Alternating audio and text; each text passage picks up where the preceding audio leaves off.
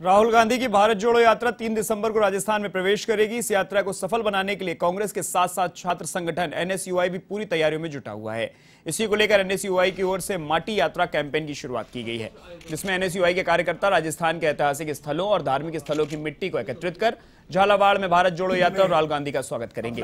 इसको लेकर एनएसयूआई के प्रदेश अध्यक्ष अभिषेक चौधरी ने राजस्थान विश्वविद्यालय के गेस्ट हाउस में प्रेस वार्ता की और यात्रा के पोस्टर का विमोचन किया।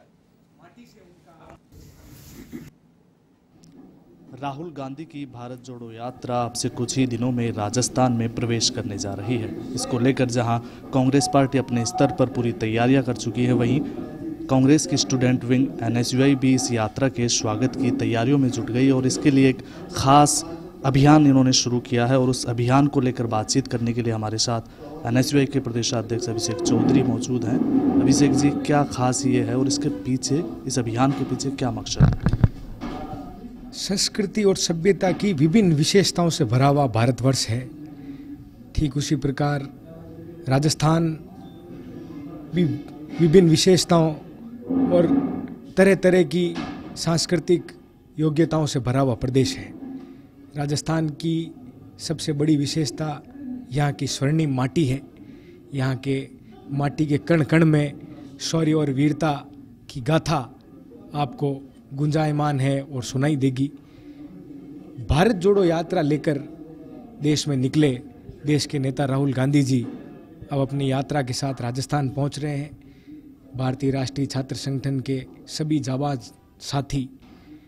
प्रदेश के वो स्थान जो इस प्रदेश को पहचान देते हैं, प्रदेश की संस्कृति और सभ्यता को एक नए आयाम देते हैं, उन मुख्य स्थानों की माटी एन के कार्यकर्ता इकट्ठी करेंगे और उस माटी से भारत जोड़ो यात्रा का स्वागत किया जाएगा। आदरणीय राहुल गांधी जी का स्वागत किया जाएगा। माटी को एकत्रित करने का ये जो सिलसिला है कब से शुरू होगा? कौन से वो खास स्थान है? और ये कब ये अभियान जो है वो समापन होगा? और इसका किस तरह से स्वागत किया जाएगा आज से ही इस कार्यक्रम की शुरुआत प्रदेश भर में एन के साथियों द्वारा कर दी गई है।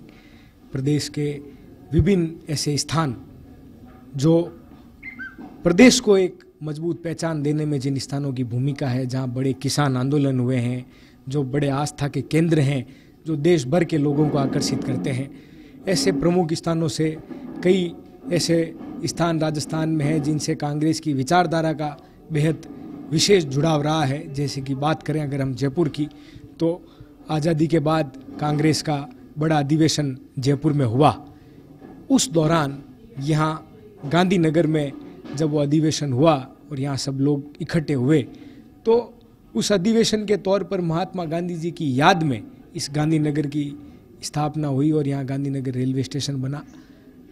ऐसे ही जो बड़े बड़े स्थान हैं जहाँ कांग्रेस की विचारधारा कनेक्ट होती है, ऐसे स्थानों से एन के जाबाद सिपाही माटी एकत्रित करेंगे और पूरे प्रदेश की स्वर्णिम माटी से भारत जोड़ो यात्रा का स्वागत किया जाएगा। ये थे अभिषेक चौधरी, जिनके नेतृत्व में भारत जोड़ो यात्रा के स्वागत के लिए एन माटी यात्रा शुरुआत इस कैंपेन की करने जा रही है और इस कैंपेन को समापन के तौर पर भारत जोड़ो यात्रा का स्वागत किया जाएगा।